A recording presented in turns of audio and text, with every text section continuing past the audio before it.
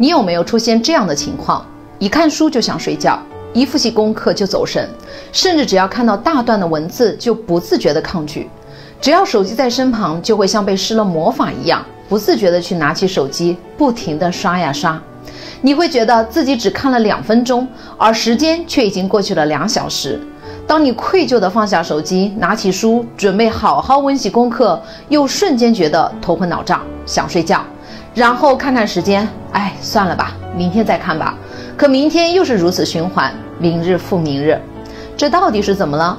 原来我们的大脑在玩手机的时候，不断地受到高频率新鲜事物的刺激，一次次获得满足感。很快就会产生行为成瘾。当我在离开手机的时候，同样就会引起戒断反应，立刻开始产生条件反射的抗拒。大脑已经习惯了高频强烈的刺激，期望水平被我们人为的调高。此时我们再也坐不住了，面对书本上安静的文字，瞌睡虫就会跑出来，爬满我们的大脑，让我们昏昏欲睡。现在你知道了老师和家长为什么反对我们长时间玩手机了吧？